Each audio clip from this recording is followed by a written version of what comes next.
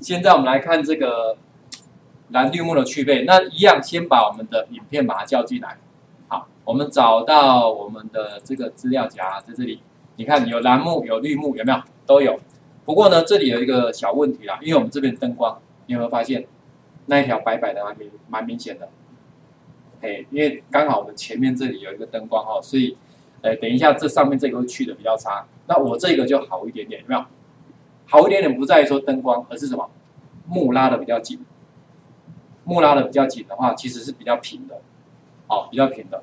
好，所以你可以像这样，比如说我找他们两个哈，来，啊，开启旧档，会进来。好，那就看你，你想要他们两个去哪里玩呢？因为他们两个偷偷去外面玩，我们也不知道嘛。好，那你看一下，把按着往下丢，有没有进来了？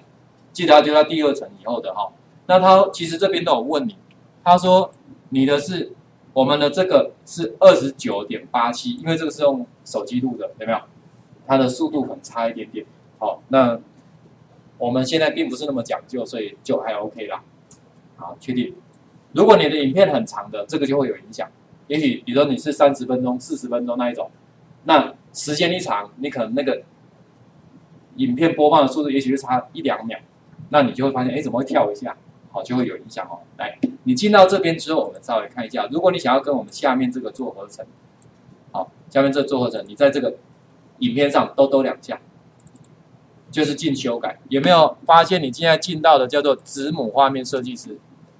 威力当然有个好处，就是它每一个功能都是好像一个模组一样，所以你点两下，或者是看哪一个功能，它就通常会跳另外一个视窗出来，让你去做编辑。好，去做编辑。好，那我们要用到的就是这里。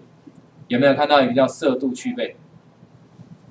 色度去背，好，我们要用到这个功能。那你点到它，先把它打开，勾起来。哇，该去的没去的去掉了，因为它预设是用黑色，有没有？所以你滴管按一下放开，你移到中间来，有没有可以自己吸颜色的？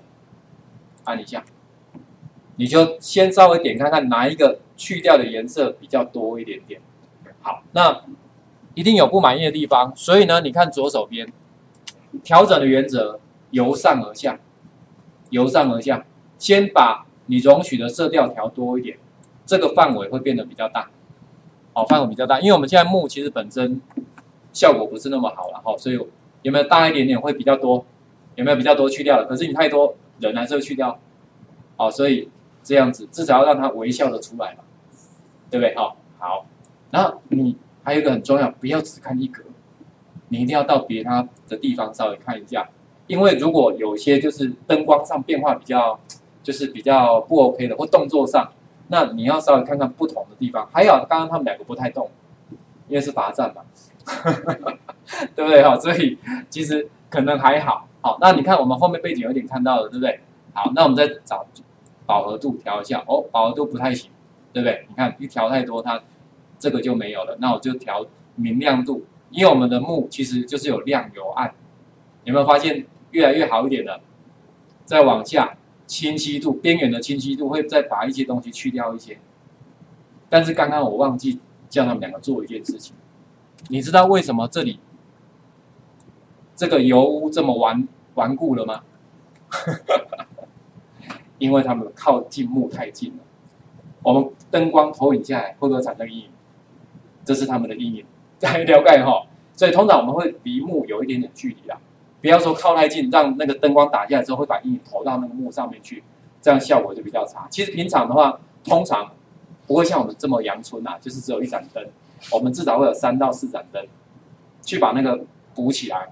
好，所以如果有比较专业的，当然是最好。好，那你看看，你可以播放看看。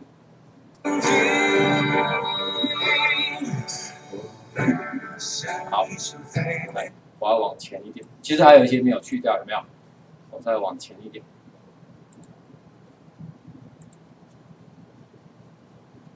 好，在这边。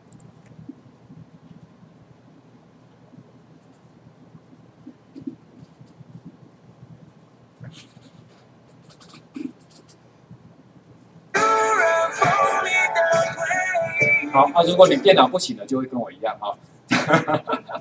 我先存档一下好了。因为比较慢的时候哈，就它显示一格就来不及，还叫它跑那么快，有吧？到这来点错误了哈，来先关闭一下。哎，好，对我这边有点错，没关系，我先把后面还给你，好不好？你可以先试看，记得怎么做吗？多多两项，好进去了，有一个叫做色度区倍吧，来还给你。好，现在我已经重新开机，呃，就是打开那个软体了哦，所以就比较正常的。你看这边这里，刚刚这个有没有发现旁边还是有一些不 OK，对不对？好，所以你的幕、你的灯光其实事实上是蛮重要的，不是只有拍拍重要而已。那现在呢，这里还有一个情形，你可以看到这里我的有没有发现他旁边给我拍这样？我的学生搞翕个呢，不要紧，还好威力导演可以处理一下，怎么办？因为如果你这样子，即使用蓝色去背，请问这里去得掉吗？去不掉，对不对？因为它不是蓝色嘛，好，所以怎么办呢？你一样点两下进来，因为威力导演它有个好处，它还有一点弹性，哦，虽然没有像我们有上过我课 A 一的，就 F 这 F 的那个软体一样那么那么自由，但是它有遮罩的功能，你可以把它打开。